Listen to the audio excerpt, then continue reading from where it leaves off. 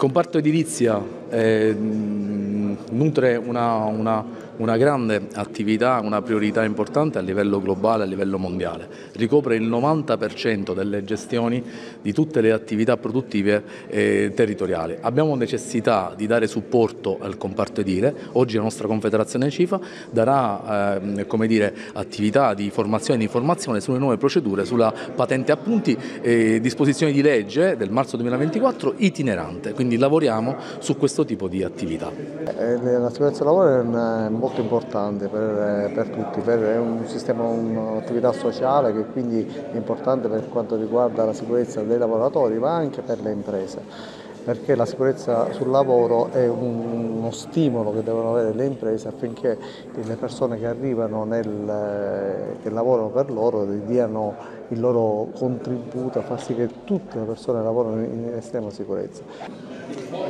Eh sì, eh, noi accettiamo sempre ben volentieri eh,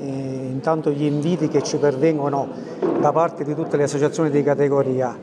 e accettiamo volentieri anche oggi l'invito del Presidente della CIFA eh, che vede eh, coinvolto in prima persona non solo l'organo istituzionale eh, qual è l'ispettorato del lavoro, ma anche il nucleo carabinieri, oggi da me rappresentato, che fa parte integrante dell'ispettorato del lavoro. L'attività di vigilanza in questo momento storico nella provincia di Trapani è proprio demandata eh, ai carabinieri eh, purtroppo per la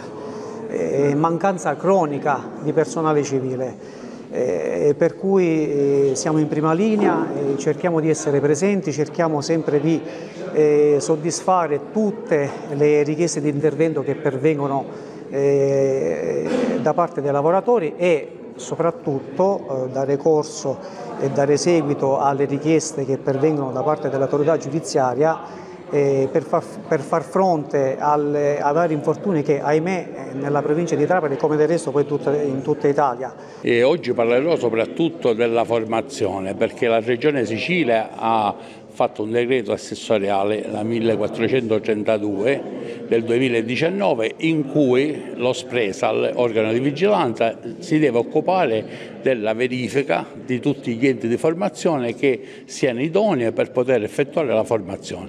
Quindi tutto quello che riguarda la formazione dei luoghi di lavoro eh, prima passa dallo Spresal che eh, verifica